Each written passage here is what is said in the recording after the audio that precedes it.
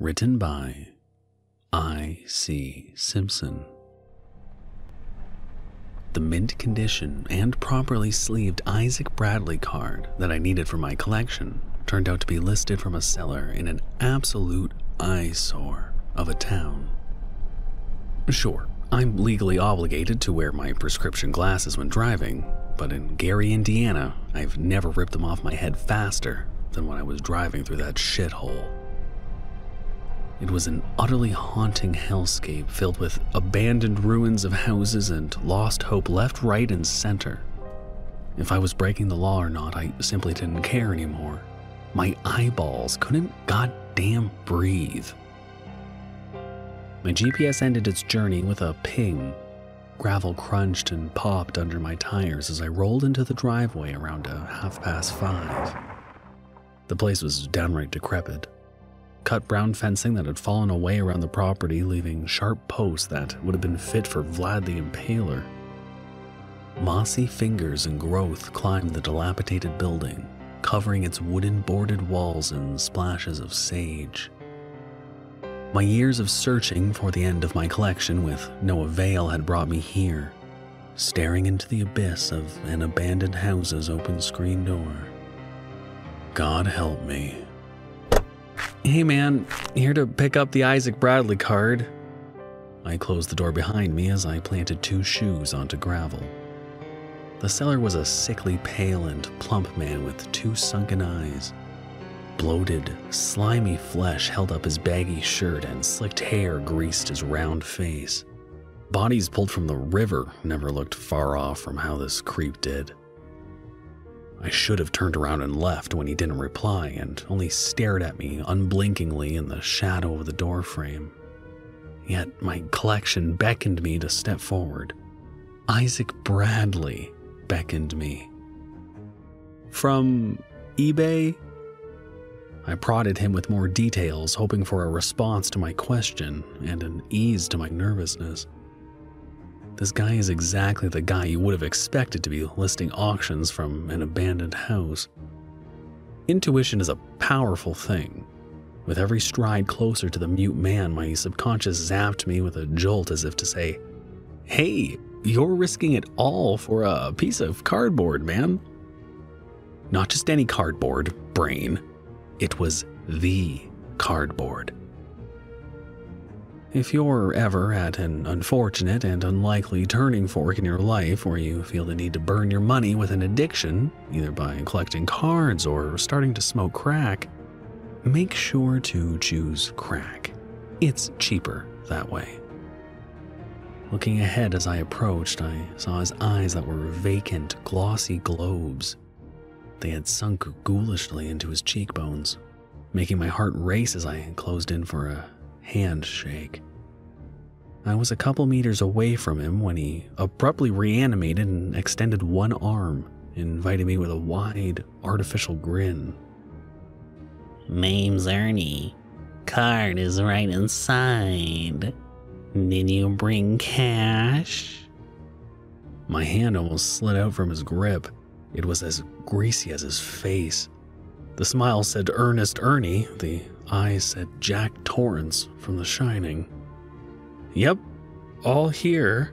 I patted my pocket, leaving some sort of white, gooey paint from his hand upon my jeans. Inside we went. The place reeked of dust that littered unkempt furniture.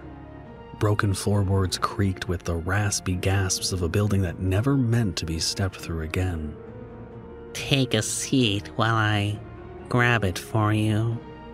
He gestured to one dull, grimy couch. I hadn't really put much thought into it before, but his face was rather deformed. The bridge of his nose was almost non existent. Skin from his face met with the immediate snub holding two nostrils. He quite frankly looked like a gruesome boar, and when he spoke, his voice was high pitched, like the strange artificial whine of a farmer trying to draw in a group of livestock. I sat down and pillows collapsed inwards, flicking years of dust into the air. If I wasn't entirely convinced it was a crack den, I was by the time I itched my arms as a cockroach scurried under a broken television cabinet.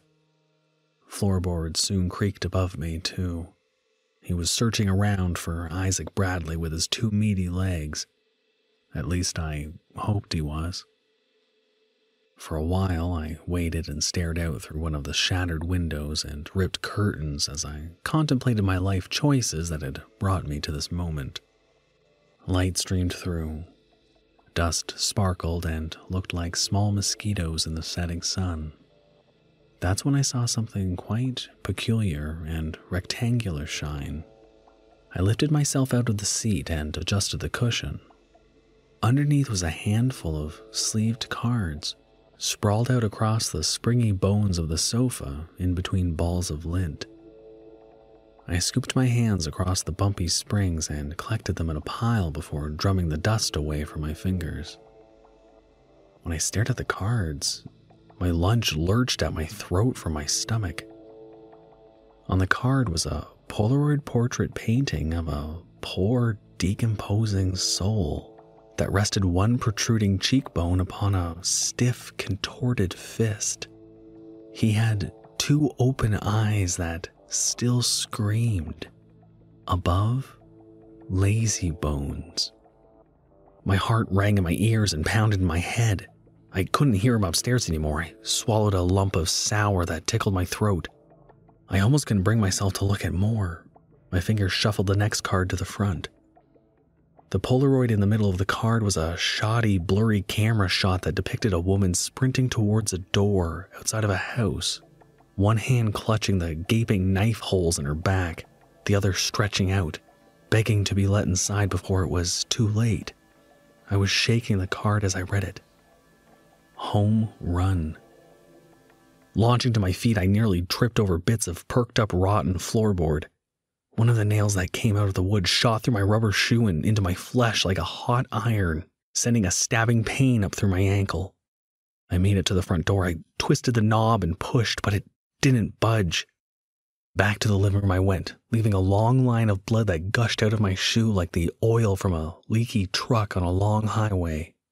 My elbow snaked around the metal borders of a smashed window, one hand feeling around for what I couldn't see. My hand touched metal, barred in. From the creaking staircase, a bright camera flash lit up the dim room. And again. He was coming, and I had nowhere to run.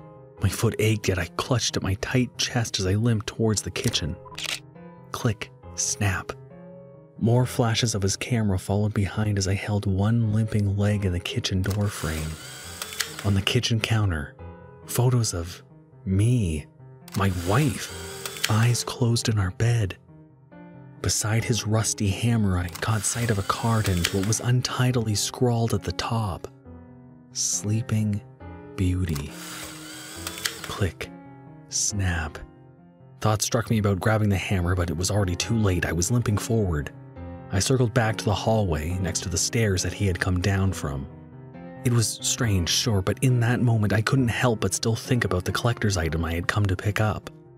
I would grab Isaac Bradley and we would both make it out of here, alive.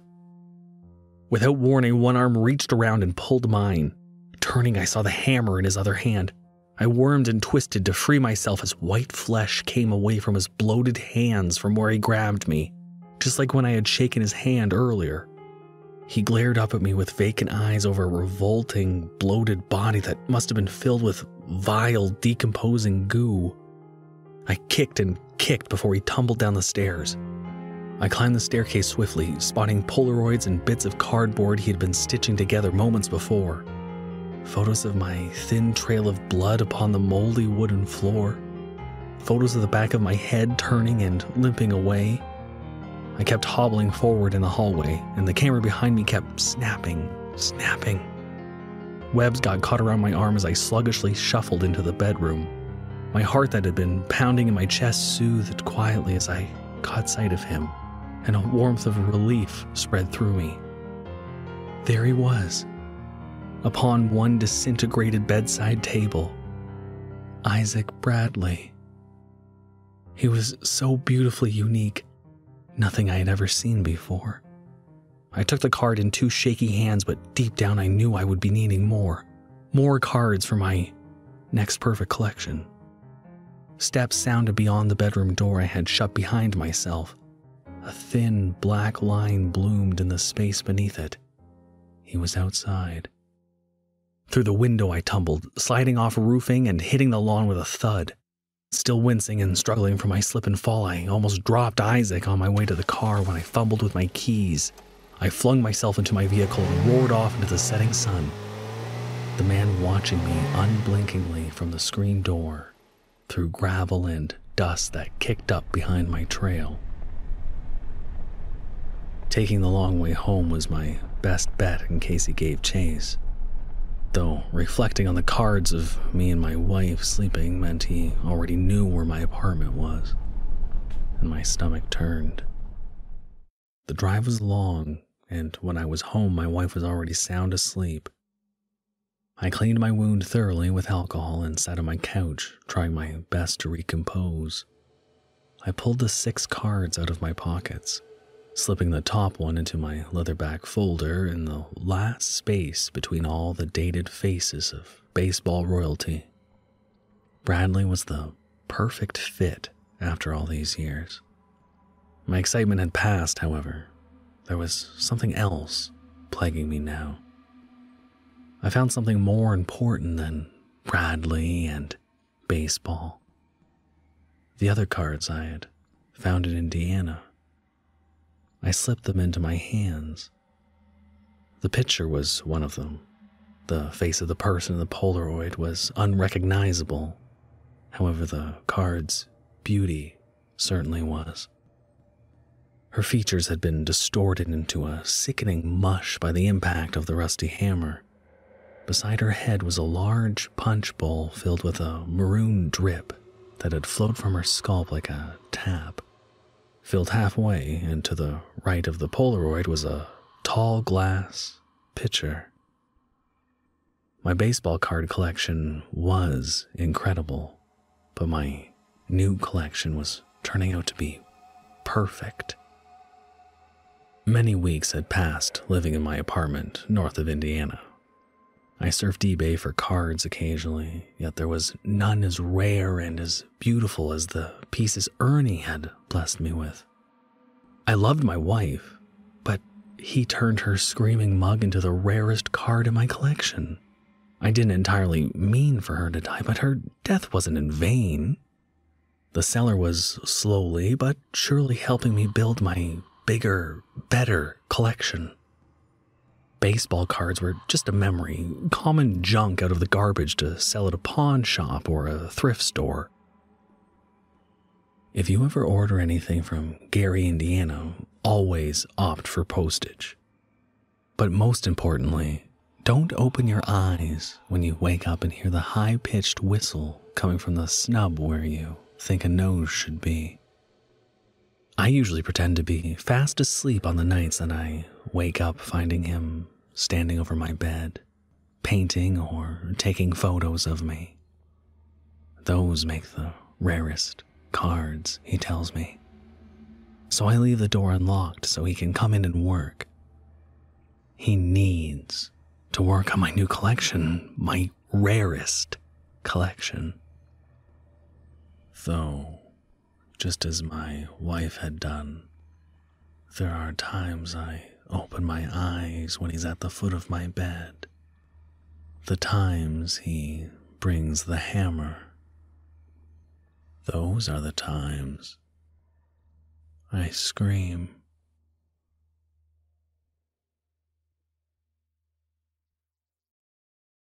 Thank you for listening. You can probably handle another horror story, right?